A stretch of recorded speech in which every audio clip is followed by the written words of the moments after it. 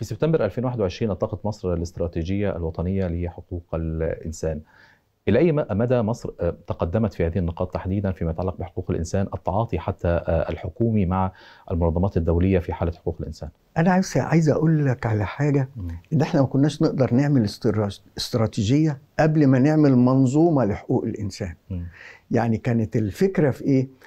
أنا عندي حقوق الإنسان ومنصوص عليها في القوانين والدستور.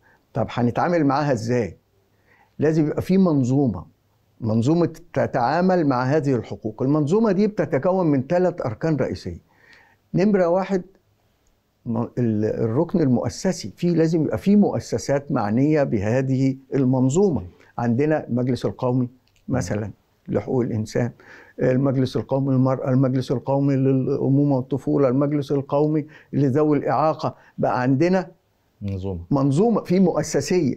طيب وبقى عندنا اللجنة العليا الدائمة لحقوق الإنسان في وزارة الخارجية؟ ده الذراع التنفيذي اللي بيتابع حقوق الإنسان في أجهزة الحكومة. بقى عندنا منظمات مجتمع مدني. والقانون بتاعها ونظمها وإزاي تخطر وإزاي تباشر نشاطها.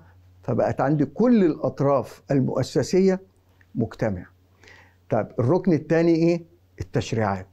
لازم أعمل تشريعات تكون متماشية ومواكبة مع الالتزامات اللي إحنا وقعنا عليها في المعاهدات الدولية. الناقص أكمله.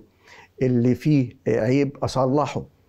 البنية التشريعية دي طبعا شوف طلع كم من التشريعات اللي ادت لذوي الإعاقة حقوقهم المساواة بين المرأة والرجل بناء الكنائس. حاجات كتير طلعت.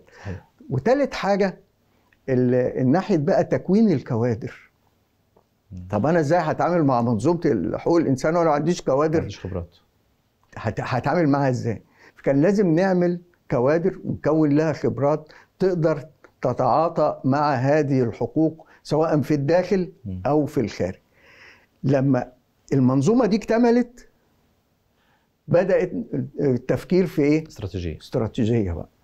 استراتيجية وضعتها اللجنة الدائمة لحقوق الإنسان التابعه في وزارة الخارجية. وهي اللي قايمة على متابعتها. بتشمل حقوق الإنسان مش المدنية والسياسية بس والاجتماعية والاقتصادية والثقافية لأن استراتيجية شاملة. الاستراتيجية دي مدتها خمس سنين. إحنا حطينا فيها أهداف قابلة للتحقيق مش أهداف تكون مثالية, مثالية. أو فوق آه. التوقع. لا حاجات قابلة للتصديق. مر عليها إيه؟ سنة واحدة.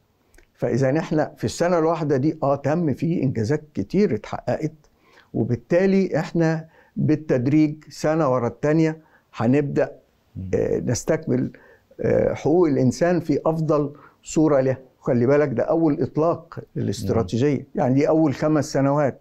طيب وبعد خمس سنوات هنعمل إيه؟ ده فكر تاني وإن شاء الله يبقى آه هتبنوا على هذه الاستراتيجية.